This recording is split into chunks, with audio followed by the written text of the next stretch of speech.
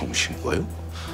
어, 그럼 우리 집사람 멘탈에 무슨 이상이 있다는 말입니까? 그런 게 아니고요. 검사 결과 혈관엔 이상이 없는데 심장 앞쪽 부분이 움직이지 않아서 갑자기 쓰러지신 겁니다. 아니 그 이, 그게 대체 무슨 말이에요? 아무튼 정신과 선생님과 상의해 보겠습니다.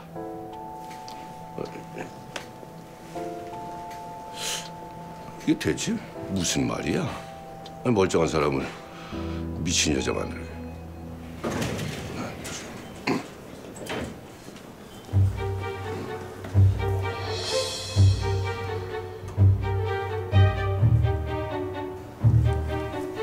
안녕하셨어요.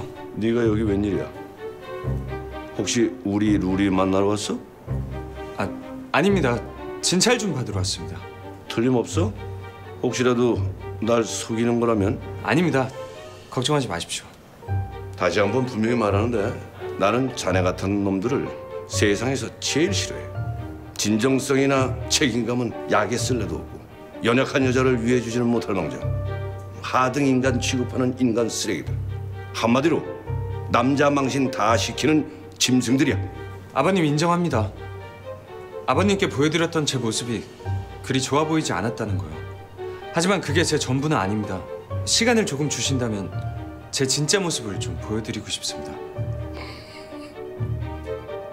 말은 청산유수네. 아, 내가 왜 그래야 되는데? 혹시 자네 아직도 내 딸한테 미련 있어? 그렇다면 꿈 깨.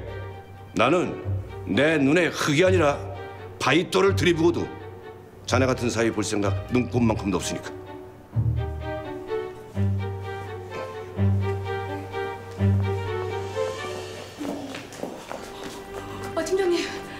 방금 가신 거 루리네 아빠 맞죠? 어 맞아. 으 등만 봐도 으스스해 여기 어쩐 일이야? 에? 아 루리한테 혹 대려고 왔어요 얘가 걔야? 네 저는 입대 준비해야 돼서 가봐야 되거든요